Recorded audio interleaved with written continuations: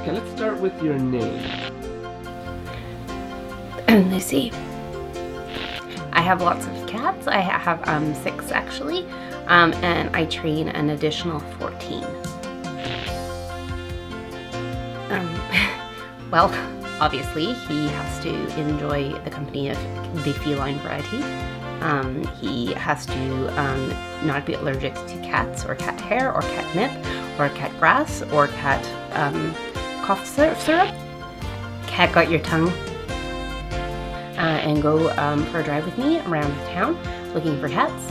Um, he would um, have a really good eye for cats um, and be able to scout them out in dark places and um, not be afraid to touch them when they're really dirty or um, missing limbs or perhaps have a mouse in their mouth.